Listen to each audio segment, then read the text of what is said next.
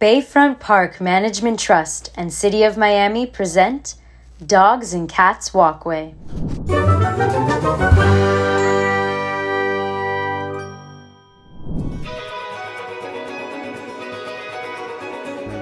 My name is Eddie Alexander Martinez Mendoza.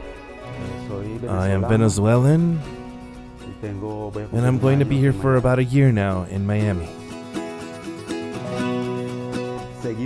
I followed in the footsteps of my brother, who painted and drew. So one day, I, uh, I took the sketchbook that he had to draw and I began to copy his drawings. From there, well, I kept going, I kept going and going. He practically did not continue. I was the one who did, and I have almost 30 years in art, more or less. I mean, I haven't stopped since then. My art technique is a mixed technique because I use several materials like charcoal and uh, acrylic. I also didn't want to have a specific style. I've been guided by a quote from Picasso.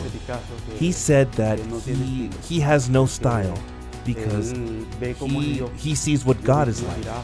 God made a giraffe, he made a cat, and he is the same artist. So I try to make sure that every piece is its own world, that nothing is the same.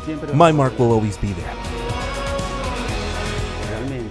Actually, the cat is the animal that I like the most between dogs and cats. I find that they're funny. I like how they are. Really, there's a feeling it's like he's my pet. I'm always with him and and I really like this type of cat. The message that I owe to my fellow artists is uh, that they do not give up. Do not give up on their research, on their work, because the path is difficult, but we must keep moving forward.